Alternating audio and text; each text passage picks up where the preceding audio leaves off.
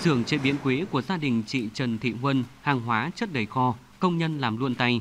Ngoài cửa bà con bán lẻ liên tục chở hàng đến.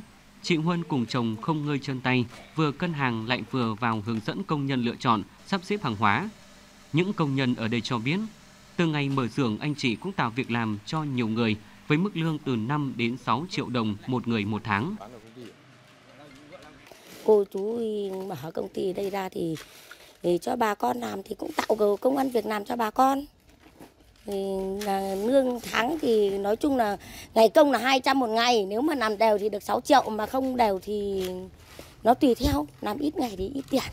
và Cá nhân của cô ấy thì vợ chồng cô chú thì được làm sống với lại bà con công nhân thì cũng được coi là cũng có uy tín. Với thế mạnh và tiềm năng sẵn có của địa phương, gia đình chị Huân đã phát triển mô hình chế biến các sản phẩm từ cây quế. Mô hình áp dụng các tiến bộ khoa học công nghệ vào sản xuất như máy băm cành, máy đập cành quế, máy thái cành quế. Các sản phẩm sản xuất đều đạt tiêu chuẩn tiêu thụ trong nước. Ngoài ra chỉ còn tận dụng hết các sản phẩm từ cây quế tạo thu nhập ổn định.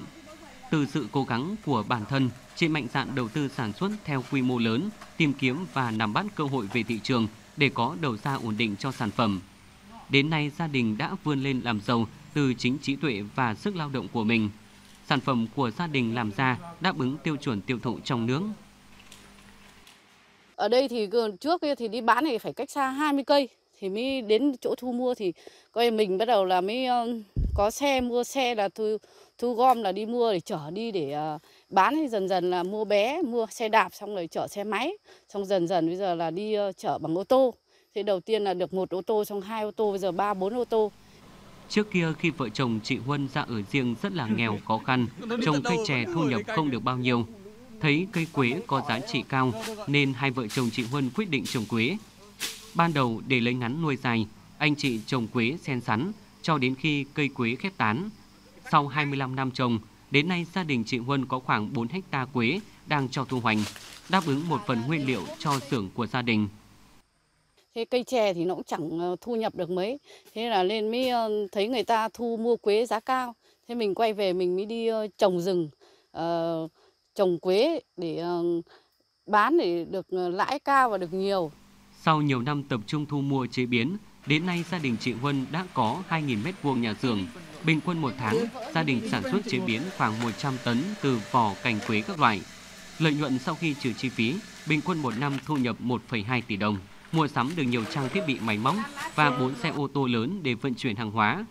Cũng từ nguồn thu nhập ấy, chị Huân xây dựng ngôi nhà khang trang trị giá trên 1 tỷ đồng, tạo việc làm thường xuyên cho trên 13 lao động tại thôn cả phụ nữ có hoàn cảnh khó khăn, thu nhập bình quân trên 6 triệu đồng trên người trên tháng.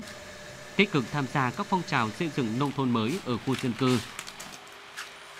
Thì trong những ờ, năm vừa qua thì đối với hội viên Huân có sự cố gắng rất là nỗ lực, đặc biệt là trong cái vấn đề uh, hỗ trợ các cái uh, gia đình khó khăn và các cái ừ, gọi là chắc các cái vấn đề về xã hội thì hội viên Huân cũng rất là tích cực đặc biệt là uh, vấn đề về uh, hỗ trợ cho các cái ờ, đường làng ngõ xóm xây dựng các cái cầu cống hoặc là xây dựng các cái đường điện chiếu sáng ở tại cơ sở.